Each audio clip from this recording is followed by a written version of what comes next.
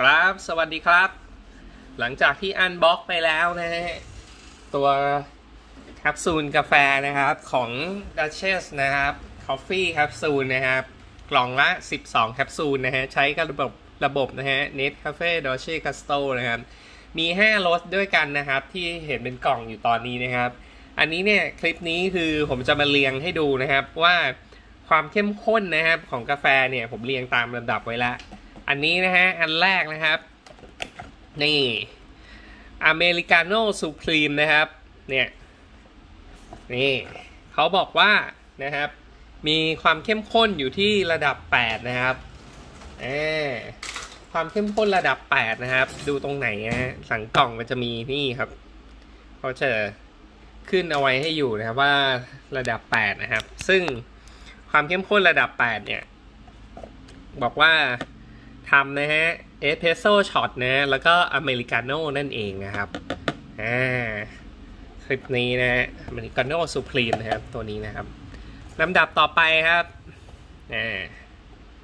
ปึ๊บอันนี้ฮะอาราบิโกโอ้ขออภัยครับ Arabica Massimo นะฮะตลกแล้วผม อันนี้เนี่ยความเข้มข้นระดับ 9 นะครับ นี่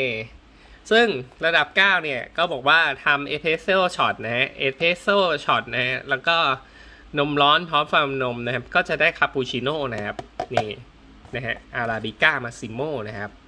โอเคฮะ อันนี้ความเข้มข้นระดับ 9 นะครับ ต่อไปครับ นี่ฮะ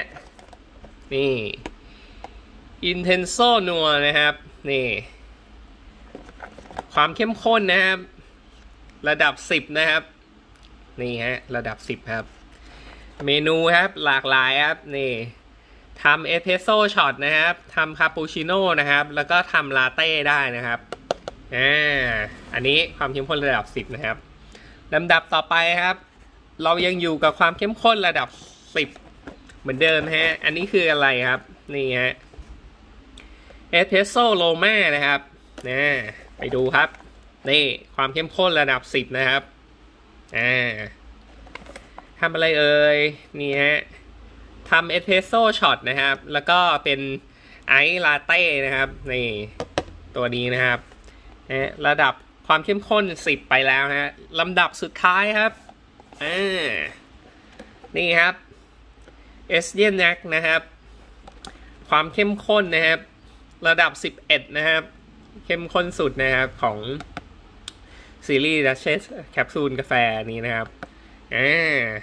ทำเมนูอะไรครับ โอ้โห เยอะครับ espresso shot นะครับcondensed milk นะครับ ไม่แน่ใจอ่านถูกหรือเปล่านะฮะแล้วนมสดเย็นนะครับ ออกมาครับ นี่ ได้นะครับ กาแฟ เป็นไอซ์คอฟฟี่นะครับ